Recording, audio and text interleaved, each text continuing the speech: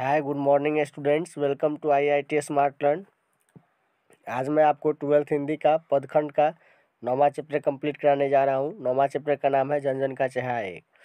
और जन जन का चेहरा एक चैप्टर जो है, वो आपको लिखा गया है मुक्ति बोध के द्वारा। तो चलिए, वीडियो स्टार्ट करते हैं।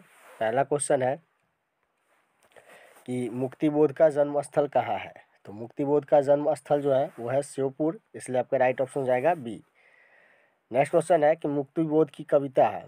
तो मुक्ति बोध की जो कविता है, वो जन जन का चेहरा एक है, इसलिए आपका राइट ऑप्शन जाएगा बी चलिए नेक्स्ट क्वेश्चन देख लेते हैं कि मुक्ति बोध ने नागपुर के प्रकाशन तथा सूचना विभाग में किस रूप से नौकरी की थी? तो पत्रकार के रूप में नौकरी की थी, इसलिए आपका राइट ऑप्शन जाएगा ए चलिए नेक्स्ट क्वेश्चन देखते हैं कि कौन सी कीर्ति मुक्ति बोध की नहीं है? तो मुक्ति बोध की जो कीर्ति नहीं है वो है बिखरे मोती। इसलिए आपका राइट ऑप्शन हो जाएगा डी चलिए नेक्स्ट क्वेश्चन देखते हैं कि कौन सी रचना मुक्ति बोध की नहीं है? तो मुक्ति बोध की इसमें से कौन सी रचना नहीं है?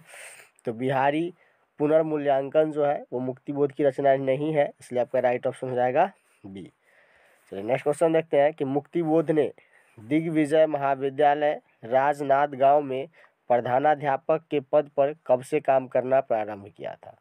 तो इन्होंने जो काम करना शुरू किया था, वो उन्नीस ईस्वी में किया था, इसलिए आपका राइट ऑप्शन हो जाएगा बी नेक्स्ट क्वेश्चन है कि हिंदी साहित्य में गजानन माधव मुक्तिबोध का उदय कैसे कवि के रूप में हुआ है? तो इनका जो रूप में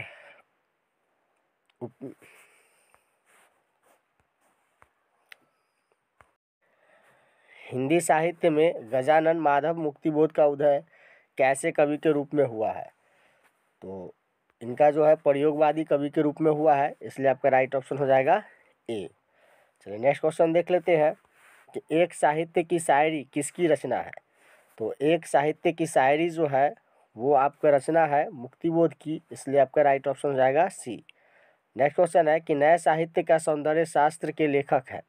तो नए साहित्य के, सौंदर्य शास्त्र के जो लेखक है, वो है आपके मुक्तिबोध, इसलिए आपका राइट ऑप्शन जाएगा बी चलिए नेक्स्ट क्वेश्चन देखते हैं कि मुक्तिबोध के कविता संग्रह का नाम क्या है? तो मुक्तिबोध के कविता संग्रह का नाम है चाँद का मुँह टेढ़ा है, इसलिए आपका राइट ऑप्शन जाएगा बी नेक्स्ट क्वेश्चन है कि काठ का सपना किसके द्वारा लिखा गया है? तो काठ का सपना जो है वो गजानन मानव मुक्तिबोध के द्वारा लिखा गया है, इसलिए आपका राइट ऑप्शन जाएगा ए गजानन माधव मुक्ति मुक्तिबोध। चलिए नेक्स्ट क्वेश्चन देखते हैं कि अज्ञे द्वारा संपादित तार सप्तक के एक कवि के रूप में कौन सामने आए हैं? तो ये जो है, मुक्तिबोध जी जो है, वो सामने आए हैं, इसलिए आपका राइट ऑप्शन हो जाएगा सी नेक्स्ट क्वेश्चन है कि मुक्तिबोध की माँ का नाम क्या था? तो मुक्तिबोध के माँ का नाम जो था, वो पार्वती बाई था, इसलिए आपका राइट ऑप्शन हो जाएगा बी नेक्स्ट क्वेश्चन है कि कौन सी रचना मुक्ति बोध की है? तो यहाँ पे जो मुक्ति बोध की रचना है, वो है मुकुल, इसलिए आपका राइट ऑप्शन हो जाएगा डी नेक्स्ट क्वेश्चन है कि मुक्ति बोध किस सप्तक के कवि थे? तो मुक्ति बोध जो थे, आपके तार सप्तक के कवि थे, इसलिए आपका राइट ऑप्शन हो जाएगा ए चलिए नेक्स्ट क्वेश्चन देखते हैं कि कौन सी रचना मुक्ति बोध की है? तो मुक्ति बोध की जो रचना है वह चाँद का मुँह टेढ़ा, इसलिए आपका राइट ऑप्शन हो जाएगा डी नेक्स्ट क्वेश्चन है कि गजानन मानव मुक्ति माधव मुक्तिबोध का जन्म कहाँ हुआ था? तो मुक्तिबोध जी का जो जन्म हुआ था, वो हुआ था छत्तीसगढ़ में, इसलिए आपका राइट ऑप्शन हो जाएगा सी चलिए नेक्स्ट क्वेश्चन देखते हैं कि मुक्तिबोध के अनुसार ज्वाला कहाँ से उठती है? तो मुक्तिबोध के अनुसार ज्वाला जो है, वो जनता से उठती है, इसलिए आपका राइट ऑप्शन हो जाएगा ए चलिए नेक्स्ट क्वेश्चन देखते हैं कि मुक्तिबोध के पिता का नाम क्या था? तो मुक्तिबोध के पिता का नाम जो था वो था माधव राज मुक्तिबोध, इसलिए आपका राइट ऑप्शन हो जाएगा सी नेक्स्ट क्वेश्चन है कि मुक्तिबोध ने किस विश्वविद्यालय से एमए किया था? तो मुक्तिबोध ने जो है नागपुर विश्वविद्यालय से एमए किया था, इसलिए आपका राइट ऑप्शन हो जाएगा डी नेक्स्ट क्वेश्चन है कि मुक्तिबोध ने किसका संपादन किया था? तो मुक्तिबोध ने जो है नया नाखून का संपादन किया था, इसलिए आपका राइट ऑप्शन जो है वो हो जाएगा बी नेक्स्ट क्वेश्चन है कि कौन सी कृषि मुक्तिबोध की नहीं है। सॉरी यहाँ पे कीर्ति होगा। कृषि टाइप हो गया, ध्यान दे लीजिएगा। कौन सी कीर्ति जो है, वो मुक्ति बोध की नहीं है? तो यहाँ पे जो चंद्रगुप्त जो है कीर्ति, वो मुक्ति बोध की नहीं है, इसलिए आपका राइट ऑप्शन हो जाएगा बी चलिए नेक्स्ट क्वेश्चन देखते हैं कि कमायनी एक पुनर्विचार के रचयिता है। तो कमायनी एक पुनर्, पुनर्विचार के रचयिता जो है, वो डॉक्टर रामविलास शर्मा है, इसलिए आपका राइट ऑप्शन हो जाएगा बी नेक्स्ट क्वेश्चन है कि गजानन माधव मुक्तिबोध का जन्म कब हुआ था? तो मुक्तिबोध का जो जन्म हुआ था, तेरह नवंबर उन्नीस सौ सत्रह को हुआ था, इसलिए आपका राइट ऑप्शन हो जाएगा ए चलिए नेक्स्ट क्वेश्चन देख लेते हैं कि मुक्तिबोध ने नागपुर से निकलने वाली किस पत्र का संपादन किया था?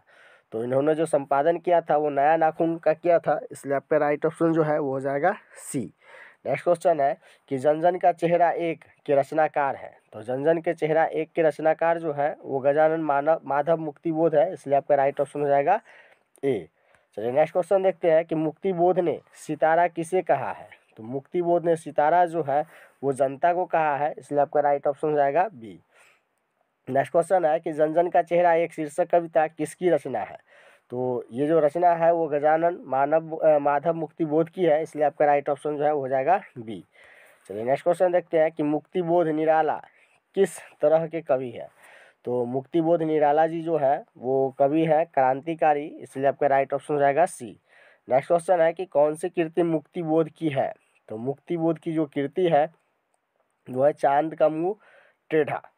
ये जो है आपका मुक्ति बोध की कीर्ति है, इसलिए राइट ऑप्शन हो जाएगा आपका ए इस तरीके से मैंने आपको जो है नौवा चैप्टर जो है कंप्लीट करा दिया है। यदि आप हमारे चैनल पर नए हैं तो चैनल को सब्सक्राइब ज़रूर कर लें, ताकि आपको सभी वीडियोज़ का नोटिफिकेशन मिलता रहे। आज के वीडियो में बस इतना ही। मिलते हैं नेक्स्ट वीडियो में।